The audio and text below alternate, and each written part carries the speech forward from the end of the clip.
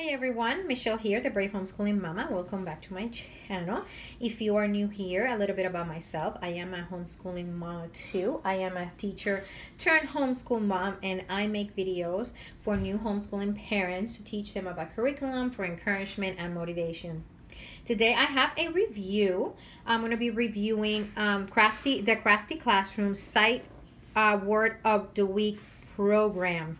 And this program was given to me as an exchange for a review as part of the homeschool review crew. When you're done watching this video, make sure you check the description box below so you can check the the the link for the blog post where everyone that's reviewing this curriculum and others curriculum from on other curriculums from crafty classroom so make sure you go ahead and check that out because there's some other amazing curriculums in there from the crafty classroom okay? So this is the sight word pro, uh, program and this is program is for the children to learn the uh, some pre-primer Dolch words.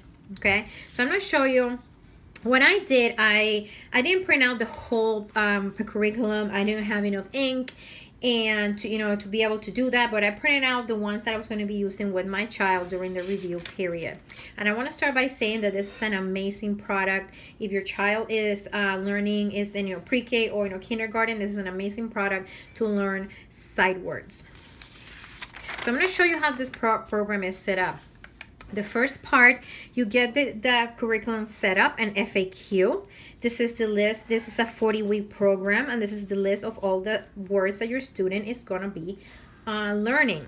Okay, the first is here tells you what are those 20, 220 sight words. So you can learn what are sight words, why are sight words important for children when they're learning how to read.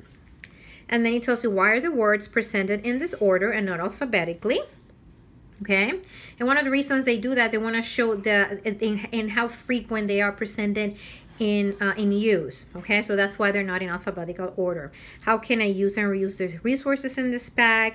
Ask how to use the sight word cutouts and how to assemble a sight word early readers and i will show you all that in a second okay?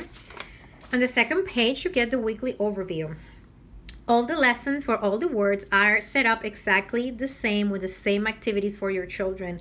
And i think this is it is absolutely wonderful for it for your child gets used to what you're doing and they are familiar every week with what they have to do.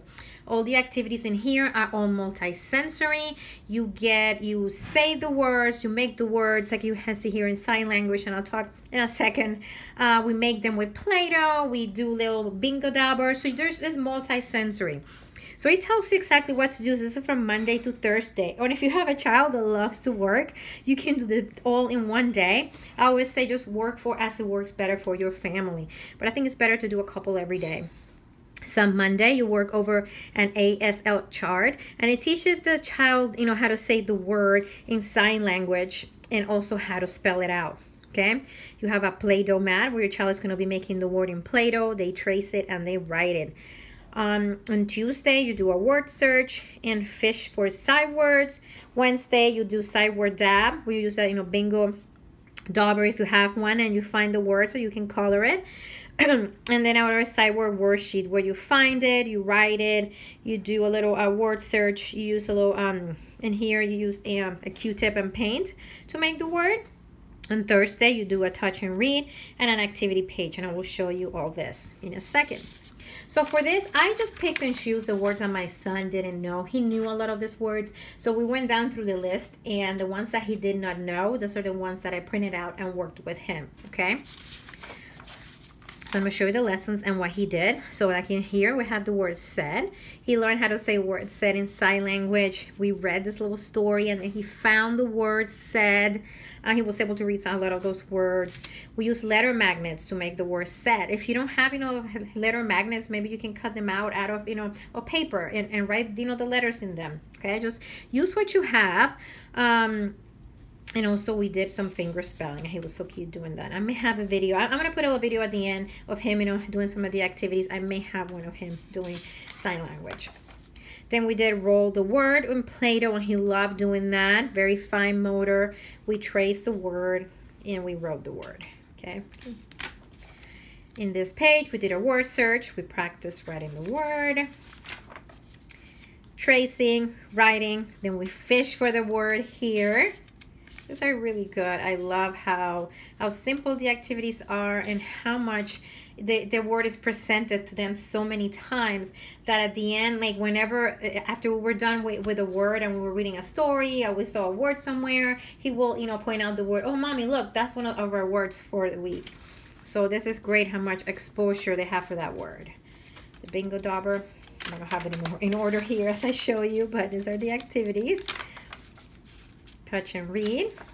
And then the next thing, this last little page, that is, it was a cutout where you, you cut all these things out.